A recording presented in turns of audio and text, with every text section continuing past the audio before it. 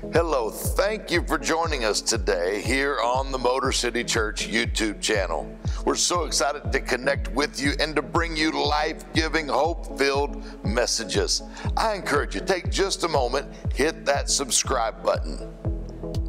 Go ahead hit the subscribe button. Also, make sure that you like this video, and we'd love to hear how it's helped you.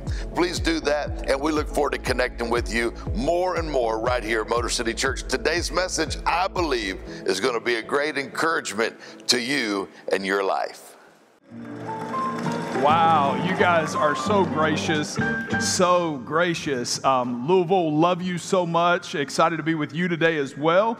And um, man, this, this, is incredible. I've been hearing for so long what God's doing here, and to, to come in and see um, how quickly campuses are coming up and, and building updates, and, and how uh, you're just, I mean, this is July 4th weekend, and this room is full, and, uh, and Louisville's full. I mean, it's amazing. You really are growing in the summer.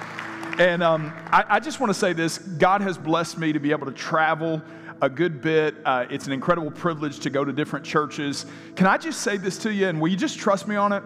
What God's doing here, He's not doing everywhere. And so don't treat this as common. You're in, you're in something very special. And I want you to get all in. If you're, hanging on the fringe, you need to, to move in the family deeper because what God is doing here is remarkable. And um, it is an honor to be here today. And I just want to take a minute to honor your pastor, uh, Dr. Dave Martin. Um, Dr. Dave is a dear friend, and we do look alike. And, uh, you know, eh, we, we just laugh together and all that. But let me just say this when I started pastoring about 10 years ago, and um, he has had a worldwide ministry for decades. And I remember that he treated me when I was uh, really unknown, nobody knew me, nobody's inviting me anywhere. He treated me um, with incredible love, care, invested in me. And I can say this with all honesty um, I wouldn't be where I am. This book wouldn't exist without your investment in me. And so, Dr. David, I just honor you today. Thank you. I realize. Um, I realize that you make everybody's world larger and larger. And I'm just honored to be connected to you. I love you with all my heart. And um, so I'm honored to be with you today. I want you to get your Bible and I want you to turn to the Old Testament book of 1 Samuel, chapter 28, 1 Samuel 28. And um, while you're doing that, you just saw a picture of my family, and I wish they were here today. You may have noticed we have five kids. Um, usually, people, when I show that picture, you kind of get a mixture between excitement and concern from the crowd when we have that many children. And, and I know what you're thinking uh, when you saw that picture. I, I, I do. I know what you're thinking. I look good for having five kids, don't I? I just, uh, you know, some people are like, well, you must love kids. Like, no, I love my wife. That's why we've got so many kids. I, the kids were just a byproduct of my love for her. But uh, I do wish they were here today. And, um, and, and, and, I am excited for you this brand new series, Book Club. This is my first book. Um, and so it's an honor to be here to share it with you. It's called Hope After Church Hurt. Uh, Dr. Dave mentioned a few minutes ago. Um, this book uh, is God's answer to a crisis we have been in for some time. Um, even just in the last few weeks, your news feed has shown uh, moral failures and people who have been hurt by church. Uh, for decades, this is something that we've needed an answer to, and I feel like God's given us a practical guide filled with my personal stories, but l- this is the most important part a positive tone. How many of you just believe God still wants to use the church, right? And how many of you believe He wants to heal people? Right, so this is that book. It's God's answer to using, healing his church and healing people. So here's what I realize you today may be sitting here, and though you're in church, you may have some hurt that's happened uh, among church people or at a former church. I realize that. This book's for you. But I also want to, want to say this every single one of you knows someone who used to come to church but doesn't anymore because of something that happened in the church. So here's my challenge to you even though you may be whole, why don't you be someone else's miracle and buy this book for them and help them in their healing journey? I think um, today, here's the churches God's using those who reach the lost and heal the found. And so, what I'm, I'm going to ask you to do is be a church who doesn't just reach the lost, you are, but I want you to make an effort today to heal the found and to help someone. This could be a bridge to them recovering. I, I only have a few copies that are here. You can go on Amazon and get it. I think after this service, I'm going to sign. Uh, and when all the books are gone, all the books are gone, and you'll be rewarded because you came to 9:30 instead of 11:30. Sound good? All right. All right. So um, I'm going to preach from the book today a message that is very dear and personal to me. Um, one of my traditions in the summer, I love this. I love to go to the movies. How many of you love going to the movies? I still love it. I, I, love the popcorn. I love getting there early. I love the previews. And I like just about any type of genre, whether that's animation, uh, whether that's, uh, you know, action, e- even romantic comedies I can get on. The only one that I, I just personally don't care for is that I've just never been a person who loves horror movies. It's just never been my favorite. I know some of you, you love them. It's just not mine. Um, as a matter of fact, we were in Disney World a few years ago, and I was with my son. He was about five years old, and we were riding the Haunted Mansion, which is just this, this little cartoonish ride through a haunted mansion. I mean, this is the most innocent way to present ghosts, and he's laughing and excited, and I'm, I'm calling Ghostbusters. I'm pleading the blood. I'm, I'm binding, and, and I just, I, there's just something in me that believes once something has died, it should remain dead. So today I want to talk to you from a message called Haunted by Hurt. Um, 1 Samuel chapter 28, verse 5. When Saul the king saw the Philistine army, he was afraid, and terror filled his heart. He inquired of the Lord, but the Lord did not answer him by dreams or Urim or prophets. Saul then said to his attendants, Find me a woman who is a medium, or maybe your translation would say a witch, so I may go and inquire of her. There's one in Endor, they said so the king disguised himself, putting on other clothes. And at night, he and two men went to the woman and he said, Consult a spirit for me and bring up for me one I name. But the woman said to him, Surely you know uh, what Saul has done. He has cut off the mediums and spiritualists in the land. Why have you set a trap for my life to bring about my death? The king, who was in disguise, swore to her by the Lord, As surely as the Lord lives, you will not be punished for this. Well, the woman asked, Whom shall I bring up for you? Bring up the old prophet Samuel, he said. When the woman saw Samuel, she cried out to the top of her lungs um, and said to Saul, Why do you deceive me? You're the king, Saul. And the king said to her, Don't be afraid. What do you see? And the woman said, I see a ghostly figure coming up out of the earth. What does he look like? He asked an old man wearing a prophet's robe is coming up. And she said, and then Saul knew it was the old prophet Samuel. Would you um, bow your heads, even in Louisville, will you bow your heads? I want to pray and invite the Holy Spirit to do a work in each of our hearts. Father, we pray today that you would turn uh, this campus, the kitchens and living rooms and dining rooms that people are sitting in all across the world, and Louisville, we pray right now, would become an operating room for your Holy Spirit. And may any pain, any wounds that remain in a soul may be healed and whole in Jesus' name. Amen. There are just some passages of Scripture that are encouraging. There are some that are, um, you know, it, they strike an intellectual chord. And then there are just some passages of Scripture that are just plain weird. And this has to be the weirdest. I mean, we've got a witch and a king and a ghost and a prophet, and this is like one of the strangest things. As a matter of fact, this looks more like an episode of Stranger Things than coming, something coming from Scripture. The reality is, we start to ask ourselves immediately what would cause God's chosen king to take such an ungodly course? What would cause a king to go in such a dark place looking for answers? One who's supposed to represent God, represent his standards and his ways. Why is he searching for something in such a devil driven place? The answer can be summed up in one word it is the word rejection. You see, the backstory to this passage is, is that um, King Saul was paired by God with an old prophet named Samuel.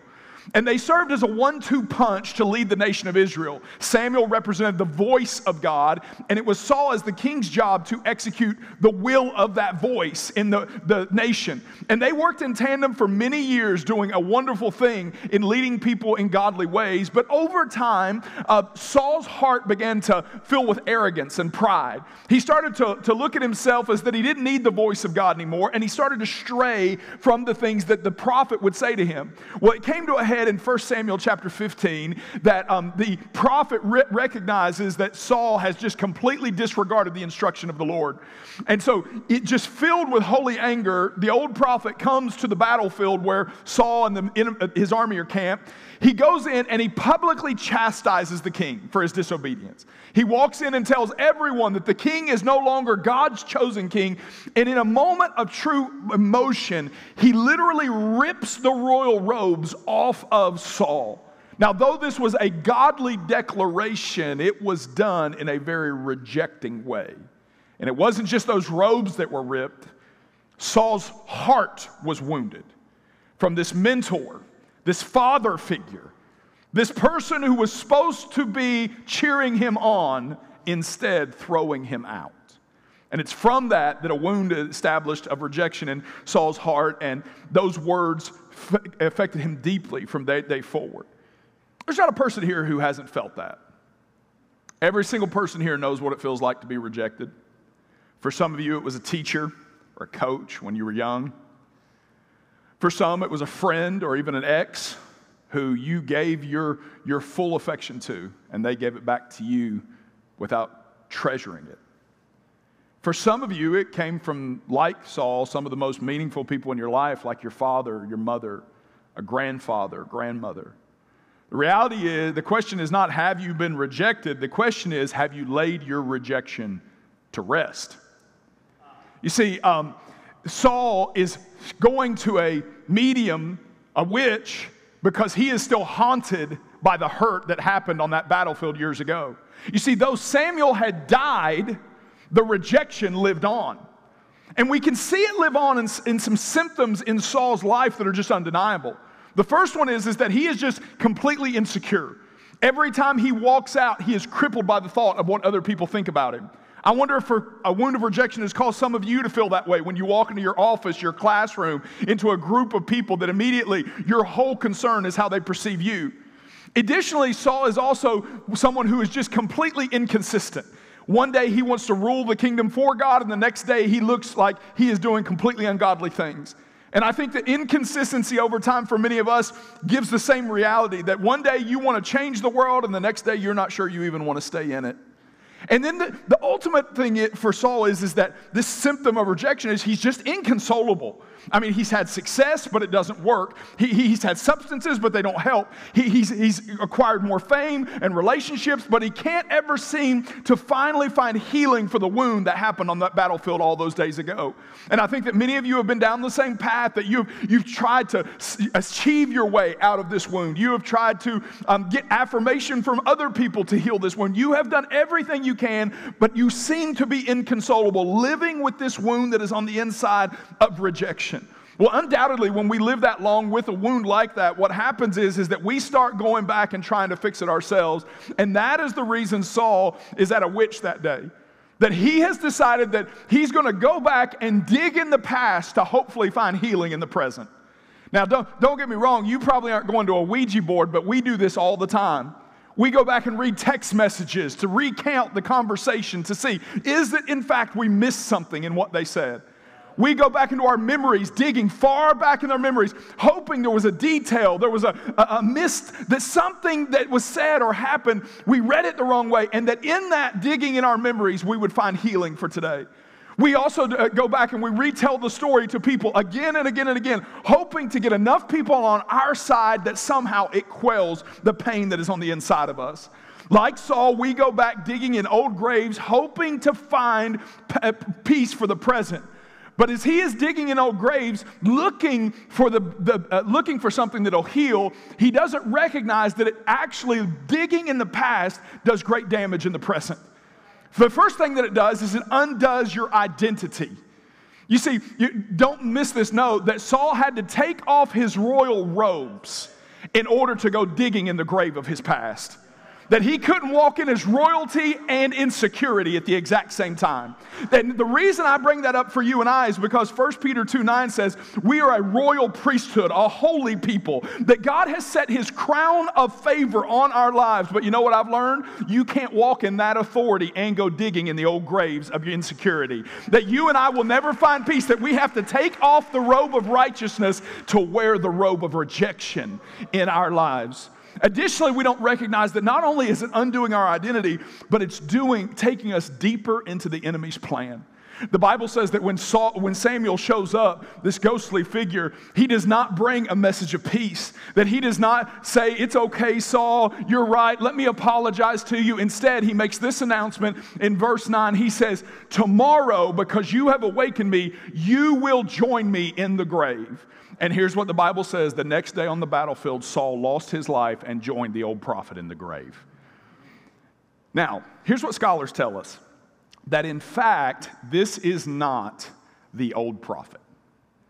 Because an evil witch can't call forth people from God's eternal salvation. That instead, this is a masquerading spiritual enemy a demon who's willing to show up looking like he's here to help, but instead his plan is to pull you deeper in the grave.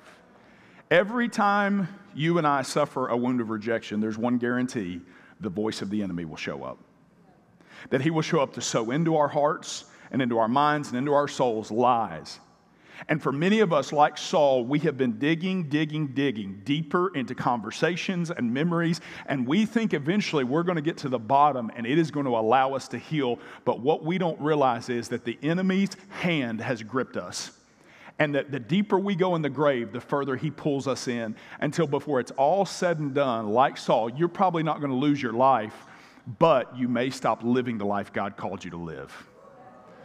You know, I, I um, I started pastoring when I was in my early 20s, and um, I, uh, I'm convinced today that the enemy's first goal in my first two years was to uh, wound me with rejection to the point that either I would quit ministry or that I, my heart would just get so hard that God couldn't use me. And I'll never forget an email that I got from a leader who was in our church. I mean, someone who was, who was around the table. I mean, they, they were deep in, them and their family.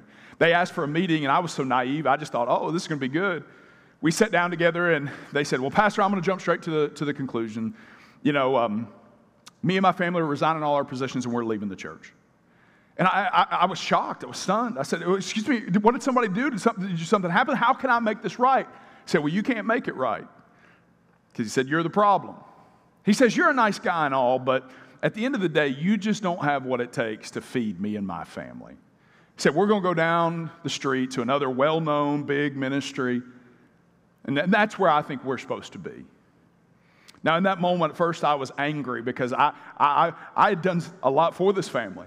Next, I was just shocked because I thought this guy was on my team.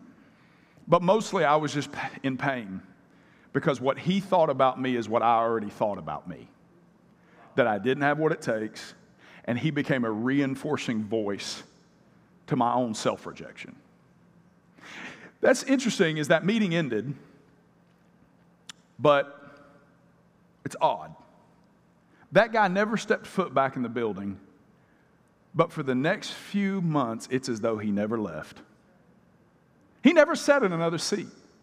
Yet I don't remember a service that he wasn't sitting right beside me. He never said another thing to me. Yet I could hear his voice clearly as I was preaching. That he, he never met with me again, yet it felt like I never had a meeting that he didn't attend. I was haunted by that hurt. And here's how you know you really can you get to a place where you're haunted by hurt. It's when it's so strong in your life, it infiltrates your prayer. Have you ever been praying something like going down an intentional list or, or topic, and then all of a sudden your mind just starts to swing to something that has nothing to do with what you've actually been praying about? I remember many times praying over the church, my family, over different situations. I would be praying with my mouth for what was on my heart or what was on a list, but my mind would always stray back to that meeting that happened in my, my office. And one day, just out of God's mercy, I'm praying, and, and again, all of a sudden, my heart starts to go back to where rejection was. And it's, it, it happened so commonly, I didn't even recognize it anymore. And it was on this day that, in an act of mercy, God, it's like He shouted on the inside. It's like He said, Son, and it woke me up. And then I'll never forget what the Holy Spirit said. He said, If you don't let this die, it'll never let you live. And in that moment, I was awakened to this reality that we cannot spend our lives, I can't spend my life digging in the graves of a past rejection. That at some point I have to cover up what has been opened up. That I have to allow a healing work of the Holy Spirit to take place in my heart and life. And here's what I discovered that, that, there's a path to that healing. It's not all in one moment, there's a path to it. And, and, and that God took me on that path. And today I stand healed from that rejection. Able and the reason I'm here today is because I sense the Holy Spirit sent me to Motor City Church to announce the same thing He did in me, He's going to do in each of you. That you don't have to live any longer in the grave of your past, but that God is going to do a work in your present where He's going to heal some things that have been open for way too long. You don't have to keep digging in memories and digging in all the things that were said, that there's going to be a new day for you, that you're not going to have open graves, but we're going to have a funeral today and put some things to rest so that you never return to that old place and you're able to fulfill the abundant life that God has for you in Jesus' name. Now, there's a specific, a specific pattern to do that. And so, so if you were taking notes today uh, here in, in, in Troy or in Louisville, today, right now is where you take notes. There are four steps if you ever need to heal from a rejection. Um, and they're, in, they're so, so, you're not going to get these in a blog. They're, they're scriptural. And I want you to get them because if you're not living in a rejection, you're going to be at some point. You need these. Here's the first one. The first thing you're going to do is you have to learn, you have to enter God's presence. Um, years ago, I was traveling, speaking at a church, and it was on a Sunday. And I, as I was driving uh, back home, I, I, just got this like this hunger for chicken. And um, you know, I, I, don't know about you, but I think I think I want chicken on Sundays because God's favorite restaurant is Chick Fil A. That's like you know, it's like our modern day manna. You know, the crazy thing is, is I'm only ever want Chick Fil A on Sundays when it's not open. Isn't that the, the case? It works for you. So I remember like just kind of having this hunger for chicken, realizing Chick Fil A isn't open. So I just decided to go to another place that is known for chicken. I mean, that's what they're known for chicken. That's what they advertise as chicken. On, on the sign, it says chicken. On the advertisements on the window, it says chicken. When you walk in, it's just a menu of chicken. So I'm standing at the counter, and I, a little uh, kind of uh, teenage girl sitting there. She is an attendant, and she said, What can I get you? And I said, I'll take a number one, a chicken sandwich. And she said, I'm sorry, we're out of chicken. I said, Excuse me? She said, Yeah, we're out of chicken. She said, We do have a fish sandwich if you're interested in that, though. I, I, don't know exactly what happened in the supply chain that caused a chicken place not to have chicken, but I do, am reminded in that moment of this that there's nothing worse than showing up to a place expecting to receive something only to find out that they don't actually have what you want. And the reason I bring that up is because our culture tells us when we live with emotional wounds that sex can heal, that fame can heal, that enough followers can heal, but turns out we've all tried it and they don't have any chicken. The only place that you and I can truly find healing is in the one who created our very soul souls. It's in God's presence that we find all we need. Joy is found in His presence. Clarity comes clear in His presence. Wisdom is given in His presence. His presence can give you what no pill, no accomplishment, no person can ever give you. It's in His presence that we actually find that He knows what we need, that we don't even understand it at times, but He is able to untangle hearts and show us where anger leads and where fear goes. He is able to, like a ball of string, lay it out so that a healing work can come and cut away the strings that are holding us to the pain that we are. It is we find in His presence that is what our soul's been longing for. Listen, you can accomplish some great things. You can go see some beautiful places. You can meet a lot of people, but you will never find your soul at rest until your soul finds God. Your soul is God smitten, God starved. It is searching for God because He's the one that created it.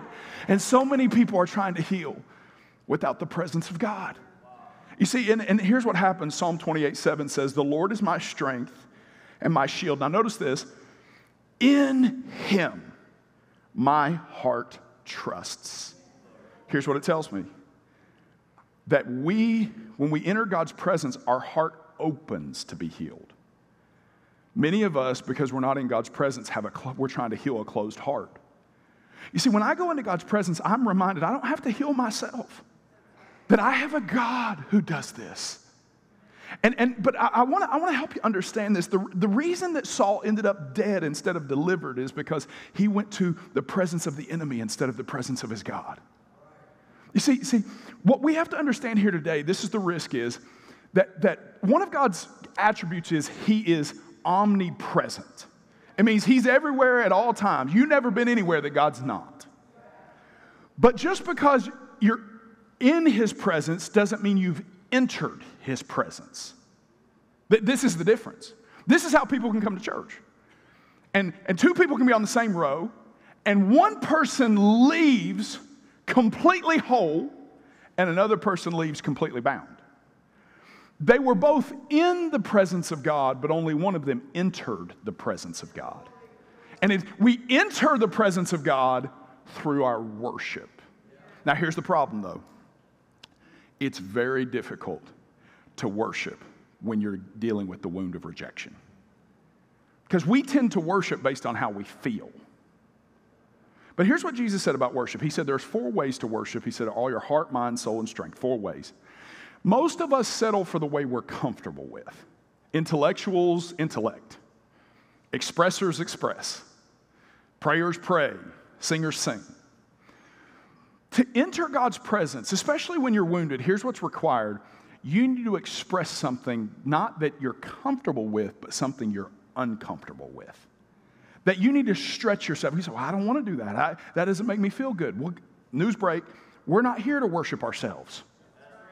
And what most people call worship is really self adoration. The reality is, it's called a sacrifice of praise because it doesn't feel good. And for some of you, the reason you keep coming to an amazing church, but yet you keep walking out in pain is because you haven't stretched yourself to express something. Therefore, you have not entered God's presence. For some of you, this is the prescription today. You need to raise your hands for the first time in worship. For some of you, you need to open your mouth and sing for the first time. For some of you, you need to let tears flow for the very first time. And it's as you stretch in the pain, in the discomfort, in the frustration, as you stretch, you enter the presence of the one who can actually heal you. Here's the second one um, you must then unmask and admit you're hurt. I had a friend who knew I was preaching this message, and he said, Man, he said, Dr. Dave should have brought you in in October. This would be a great Halloween message. And I said, Yeah, I'm not worried about it. I said, Church people are always wearing masks. I mean, you know, we show up and, How you doing? I'm good, blessed, and highly favored. You know, how's your week been? Oh, it couldn't have been any better. And you and your wife have fought the whole way to church. I mean, it just, thank God you came to church instead of the lawyer's office, or this thing would have already been over with. At some point, you and I have to take off the mask. We have to admit we're hurt. See, for many of you, the holdup to your healing is just being honest about it. Now, l- let me just say this was a key part of Saul's mistake. He put on a disguise expecting to heal. And you know, you don't heal faking it. And I get why we do it because a lot of times we don't even recognize what, what needs to be healed in us. Emotions are so complex, memories compound on each other, events take place that we don't even fully get it. And, and, and, let me just say that, that for many of us, that's, that's kind of what your problem is. You don't even think you need this message, and you desperately need this message. I'll give you an example. In our, in our home, we have a basket of single socks. Let me tell you what happens two socks go into the washer. And then somehow, between the washer and the dryer, which are only four inches apart, one of those socks is lost. I, I, don't know if there's a dimension, a portal to another dimension. I don't know if someone's playing a cruel joke, but, but somewhere in that, what happens is, is my sock drawer gets empty and this basket gets full because we don't have a match. And that's what many of you are dealing with right now. You're dealing with anger, but you don't know what it matches to. You're dealing with sadness but you don't remember the event that it started. You're dealing with rejection, but it's been so many years you don't even tie it to what really happened. And here, here's what we have to understand about God He is very precise in His healing. As a matter of fact, when Jesus talked about um, forgiveness, do you know He never spoke about it in general terms? Here's how He spoke about it in accounting. You know what you don't say to your accountant? Just ballpark it. No, you want to know exactly where every penny came in and every penny goes out. To heal, you got to know what happened so that you can move forward from it. And that is the reason that we oftentimes have to, to just take off the masks and we have to be honest. And, and, and in that honesty, as we're sharing our heart with the Lord, or, and I know this is tough, share it with someone trustworthy, we stumble upon the very thing that's keeping us in our condition. Let me just tell you, some, you're not angry. Something happened to you years ago that birthed that anger. And you need to deal with that event in order to subside that anger. You are, you are not filled with anxiety as a, that's not your DNA. There's a thing that happened. And until you address that moment, what was said, what took place, you'll never be free from it. Now, here, here's the tough part that means you're going to have to sit with a pastor, a campus pastor, an elder, someone godly, someone trustworthy, not everybody. And you're going to have to say, Can I talk something through with you? And, and, and listen, Saul was the most isolated leader in the entire scriptures. No significant relationships, therefore, no path to heal. That's why we have opportunities for groups and gatherings and connection moments. Don't just be a Sunday show up, get out as quick as possible. In this room are some people who could have a conversation that would allow you to truly bare your heart. And when you do, healing moves further in your soul. It's, it's a reality for, for, for us that one of the most exciting, most exciting moments for me as a pastor is when somebody comes to me and says, Pastor, can I talk to you? I'm going to tell you something I've never told anyone. I get excited. I don't get nervous because here's what I know light's about to invade darkness. Grace is about to come into pain, that mercy is about to find its way to sin, that someone is getting ready to be free because they've finally taken off the mask. Here's the third one. Um, after you recognize what it is, you must release your pain. Um, my kids, uh, you know, with five of them, we've had every bruise and bump there is. And here's what, what I've noticed that um, one day Ellie, she, she hurt her elbow and she came to me and she's crying and she's holding her elbow. She came to me and said, Daddy, help me, help me, help me. And I went to reach to touch her elbow and immediately she pulled back. She said, No, no, no. I said, Well, how am I supposed to help it if I can't touch it? She came to the right person. She just wouldn't release the pain. I wonder how many services you've come to the right place but you just haven't released the pain. I wonder how many times you've been here and in the presence of the Lord could have been healed but chosen not to because you haven't released. And, and, and I get it. Listen, nothing tests, nothing tests our trust like releasing our pain. You know, the reason we keep pain is for this reason. We believe if we don't hold on to it, it didn't happen. So therefore, we keep it. And we would never give it to anyone unless they understand. It's kind of like in surgery. You're not going to lay on the table until you trust the doctor. I remember somebody, you know, of course, with five kids, somebody said to me one time, they're like, hey, you know, the, the, topic of a vasectomy has come up many times. And, and I remember a guy told me one time, they said, hey, you know, I know somebody who does them real cheap if you want to get that done.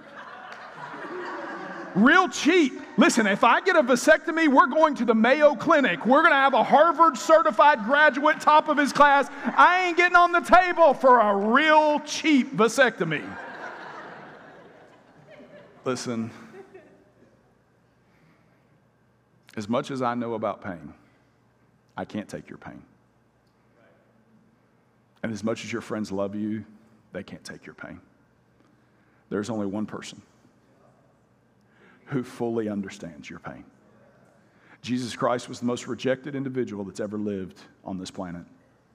He was rejected by his earthly father before he even arrived. He was rejected by the king or governor of an, an entire generation was slaughtered because this man was so hated before he took his first breath.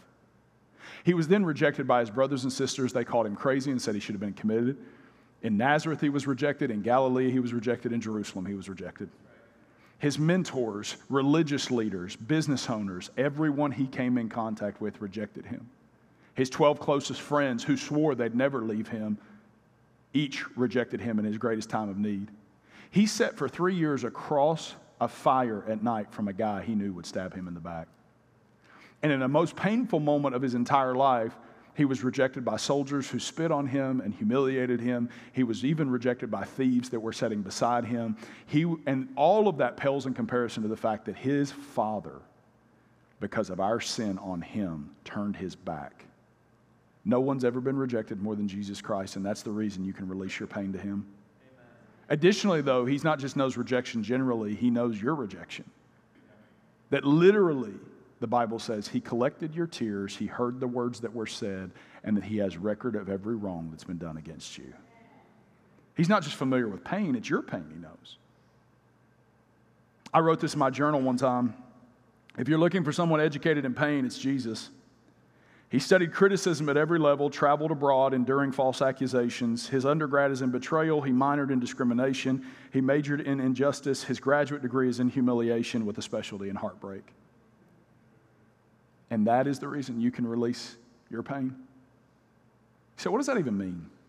Here's what it means you choose to go nowhere else to find comfort, not to a bottle, not to a position not to a person. Every time you sense the pain, you take it to Christ alone. And I realize for some of you, you're here today and you say, Pastor Joe, I'm, I'm hurting so bad that there's no, I'm not, I'm not hurting, I'm, I'm, I'm not carrying pain, I feel buried. In the 1800s, there was a, a small uh, scuffle in the medical community because they'd had a string of several people who'd been buried alive a man named Count uh, Michael Karnicki was so gripped one time by hearing of a young girl who had been buried alive. Obviously, they couldn't tell the difference between sometimes comas and the, the vital signs would go so low that he came up and patented in the U.S. patent a safety coffin. A safety coffin was nothing more than a coffin that had an airway that went to the surface and that had a string. That if a person, in fact, woke up, they could pull the string and a bell would ring on the top. Now, this was, this was not a, uh, something that was widely used. Obviously, it, it wasn't massively needed. But it is U.S. patent, and, but it, the whole design was based on really one thing, and it was that the cemetery had to assign a watchman. No good to ring a bell if nobody hears. So a cemetery participating would basically hire a night watchman. Someone who would walk among the freshly buried graves after the funerals were over and after the, the uh, families had gone. When everybody else had given up, this person's job was to walk among the dead, to listen for life. And if in fact they heard the bell ring, they immediately would go and uncover what had been buried. They would open up the coffin and they would pull the person back to the surface, back to life. I know some of you feel so buried with what happened. For some of you, it feels like the people who've meant the most to you have completely given up on you. As a matter of fact, statistically, people who've been through what you've been through, statistics say they don't recover. They don't live productive lives. They don't have peace.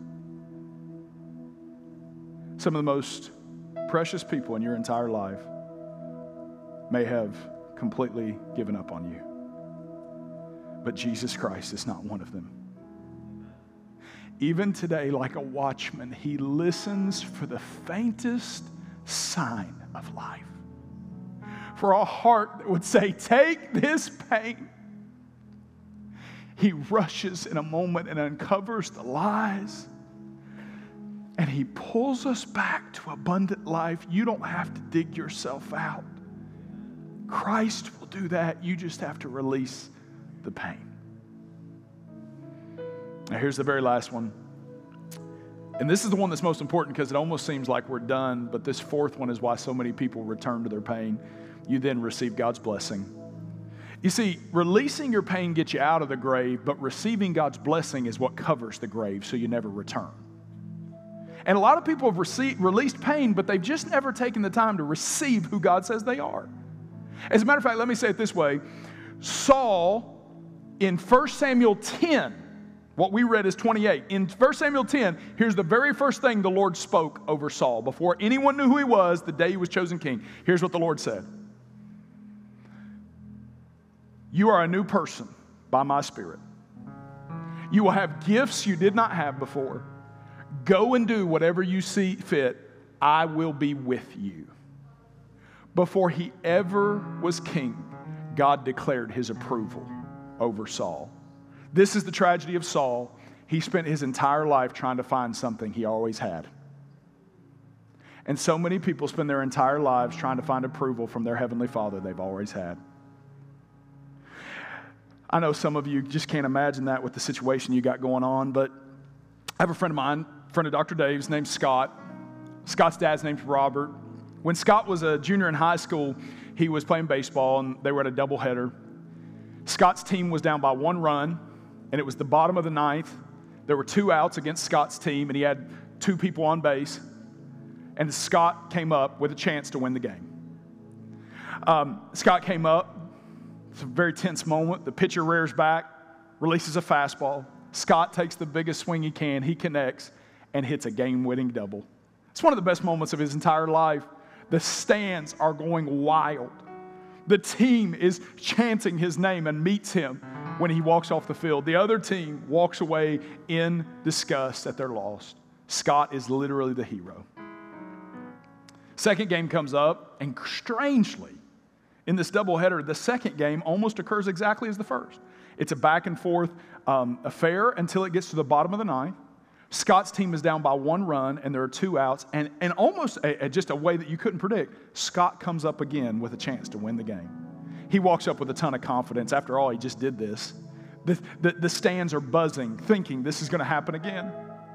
Scott walks up, the pitcher rears back, releases that same fastball, but this time it goes right past Scott, strike one. Scott gets ready, second pitch is released. Scott takes a big swing, fouls it off, strike two. Pitcher rears back for the third throw, releases it. Scott sees it, it's a little outside. He lets it go back by, expecting it to be a ball. The umpire, next thing he hears is, Steve right, ball game. Game's over. Scott has watched the final strike go by. His team's not chanting his name anymore. They're all groaning. The stands, all the energy's been deflated. The other team's celebrating, and Scott now feels the weight of letting down everybody. With his head down, staring at the plate, feeling his failure, he hears something. Over his shoulder, he hears, That's my boy! That's my boy!